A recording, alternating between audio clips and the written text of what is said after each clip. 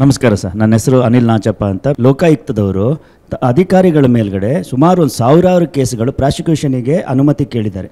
ಅದು ತನಿಖಾವಾರು ಅಧಿಕಾರ. ನೀವು ಅದಕ್ಕೆ ಯಾವುದೂ ಪ್ರಾಸಿಕ್ಯೂಷನ್ ಇವತ್ತು ತನಕ ಅನುಮತಿ ಕೊಟ್ಟಿಲ್ಲ. ಒಂದು, ಮತ್ತು ಲೋಕಾಯುಕ್ತದವರು ಸುಮಾರು ಅಧಿಕಾರಿಗಳ ಮೇಲೆ ತನಿ ತನಿಖೆ ಮಾಡಿ ಇವ್ರ ಮೇಲೆ ನೀವು ಕಾನೂನು ಕ್ರಮ ತಗೊಳ್ಳಿ ಅಂತ ಹೇಳಿದ್ದಾರೆ. ಆದರೂ ಸಹ ಆ ಅಧಿಕಾರಿಗಳನ್ನ ಆಯಕಟ್ಟ ಜಾಗಗಳಿಗೆ ಹಾಕಿ ಅವರಿಂದ ಇನ್ನೂ ಭ್ರಷ್ಟಾಚಾರ ಹೆಚ್ಚಾಗ್ತಿದೆ. ನೀವು ಭ್ರಷ್ಟಾಚಾರಕ್ಕೆ ಕುಮ್ಮಕ್ಕು ಕೊಡ್ತಾ ಇದ್ರೋ ಇಲ್ಲ ಅದಕ್ಕೆ ಪ್ರಚೋದನೆ ಕೊಡ್ತಿದ್ದೀರೋ ಅಂತ ಹೇಳಿ ನಮಗೊಂದು ಡೌಟ್ ಆಗ್ತಿದೆ ಸರ್. ಒಟ್ಟಾರೆ ಒಂದೇ ಮಾತಲ್ಲಿ ಹೇಳ್ಬೇಕಂದ್ರೆ ಭ್ರಷ್ಟಾಚಾರದ ವಿರುದ್ಧದ ಹೋರಾಟ ಅನ್ನೋದೇ ತಮಾಷೆ ಆಗಿಬಿಟ್ಟಿದೆ ಸರ್. ಈಗ ಈ ಟ್ರ್ಯಾಪ್ ಮಾಡಿರ್ತಾರೆ ಸರ್ ಲೋಕ ಅಂದರೆ ಲಂಚ ತೆಗೆದುಕೊಳ್ಳುವಾಗ ರೆಡ್ ಹ್ಯಾಂಡ್ ಆಗಿ ಸಿಕ್ಕಾಕೊಂಡ ಪ್ರಕರಣಗಳಲ್ಲಿ ಬಿ ರಿಪೋರ್ಟ್ ಹಾಕಿದ್ದು ನೋಡಿದ್ದೀವಿ ನಾವು. ಪ್ರಾಸಿಕ್ಯೂಷನ್ಗೆ ಅನುಮತಿ ಕೊಡಿ ಅಂತ ಸರ್ಕಾರಕ್ಕೆ ಬರೀತಾರೆ ಸರ್ಕಾರ ಇಟ್ಕೊಂಡು ಕೂತ್ಕೊಳ್ಳುತ್ತೆ.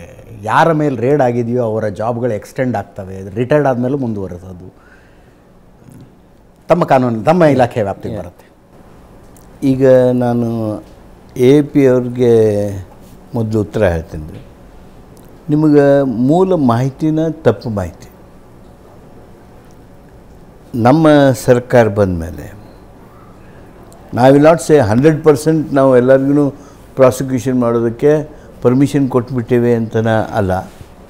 But more than ninety percent okay where there is recommendation of Lokayukta or Upalokayukta or have permitted for prosecution.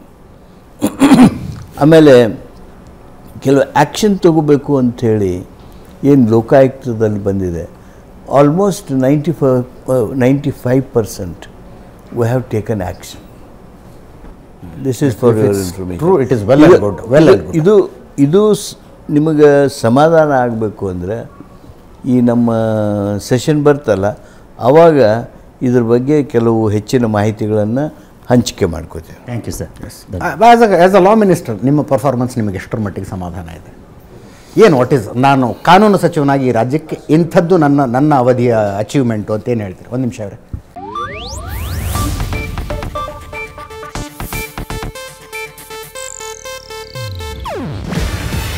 ಇದು ಏಷ್ಯಾನೆಟ್ ನ್ಯೂಸ್ ನೆಟ್ವರ್ಕ್ ಪ್ರಸ್ತುತಿ. ನೀವು ನೋಡ್ತಿದ್ದೀರಾ ಏಷ್ಯಾ ನೆಟ್ ಸುವರ್ಣ ನ್ಯೂಸ್.